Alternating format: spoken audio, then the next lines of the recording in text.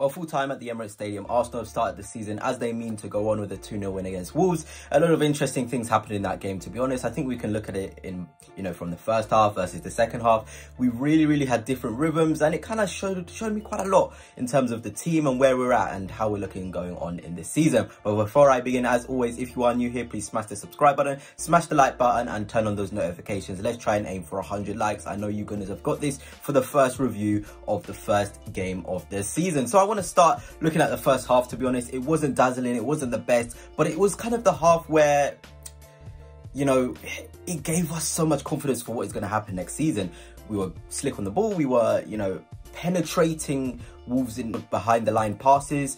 But we weren't really creating clear-cut chances. I know it was much better than the second half, but if we were to be really critical of um, the club and the team, we know how good we can be. It was more of a threatening, penetrative half, you know, not really clear-cut chances, not many shots on goal, but we did make so many good openings. And I think the kind of the quality in the wider areas wasn't there for the first part of the first half. I think Martinelli, again, that issue of him going on the outside, whipped in balls with his left foot. He just always hits the first man. He, he's really not comfortable when he's in wide areas, when you tell him to, you know, do a Saka type cross, uh, get to the byline, create, get that ball in, be, you know, decisive in his actions in the wide areas. Martinelli is just not really that sort of player and he's not really in the firing form to produce from those wide areas and that's no shade to him. I think Saka also did struggle in the first 10, 15 minutes in being decisive with his actions. We saw the quality he has on the ball where later on where he set up Kai Havertz. But I feel like our actions out wide, specifically in the first half, wasn't to our dazzling best. And it's, and it's to be expected. Hot day, first game of the season, top opposition in Wolves. I think they were really good. And it's just finding each other again. You know, the Premier League intensity is a lot different to pre-season. But what I love to see is how we reacted. You know, constant, constant, constant. I feel like defensively we penned them in as well. I think we had 24 entries into Wolves box, which is an absolute joke. Just shows how good we are when we just have an opposition so penned in. I feel like Wolves didn't have any answer to our sort of questions. And I think the goal essentially came more from the amount of pressure that we had put on them. It was just a moment of brilliance from Saka, finding Havertz, who made a brilliant run, run across the defender, nodded in, a lovely header, striker's goal. Something you're going to see a lot more next season. I talked about in previous videos how Saka can do that long ball into the box to Kai Havertz, who can nod it in. I feel like that is going to be a good feature going into next season, going into this season, because Kai Havertz really does have that aerial quality, and it was nice to actually see him start out at the number nine. To be honest, I really wanted him to be there, and first game there, first goal. I think that's now 15 goal contributions in 13 starts at up at number nine. That's just a ridiculous, you know, sort of stats to be saying out loud. It just shows how good the guy is.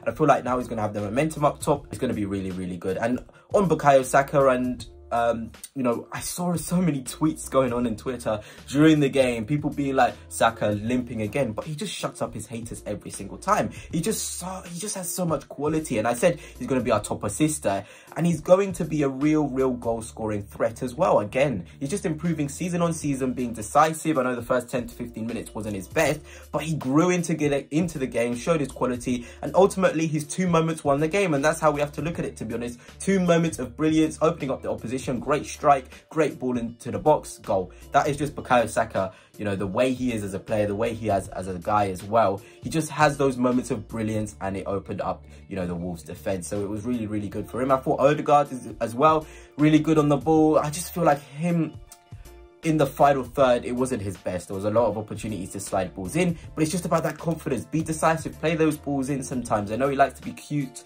but sometimes you can fizz those balls in. There was a beautiful couple of skills from him, as always, though. Just me being a little bit more critical because I know the levels that these players can reach. And then Thomas Partey, I think, has been a massive talking point um, on the game with Zinchenko. They weren't the best, especially in that second half. They really struggled. We saw the deficiencies of Zinchenko going backwards. saw the deficiencies of Partey on the ball athletically as well. I've talked about this. This is the problem with playing Rice so high up where he can't get back in time. It's going to really, really, you know, expose expose uh, Thomas Partey in the midfield. And we know how good Thomas Partey can be. He had, of course, his moments on the ball where he was really, really good. But again, he had those moments where he was really, really shady too. So it's about rhythm again with Thomas Partey. Can he get that rhythm? Can he be consistently starting?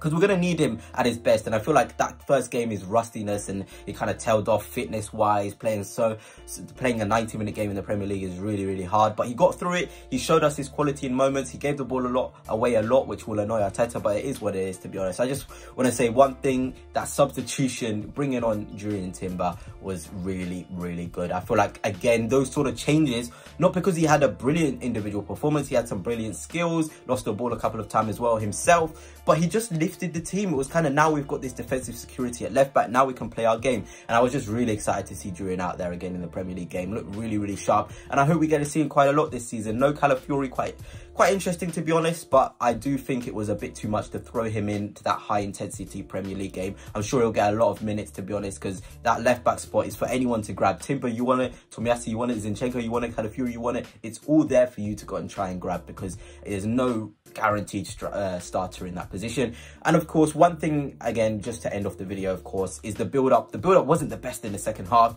and that's the left centre mid.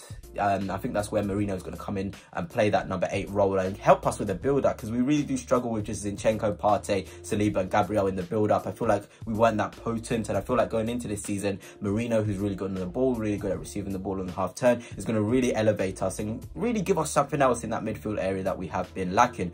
But anyway, gunners, let me know your thoughts on the game. Kind of that sort of game where you can say, First half, okay, wasn't the best, but it was lovely to see us penetrate through Wolves at times behind the line passes, really good stuff. Second half, we tailed off quite a lot, but a moment of brilliance from Saka and a couple of the guys as well really solidified the game for us. But until next time, Gunners, peace.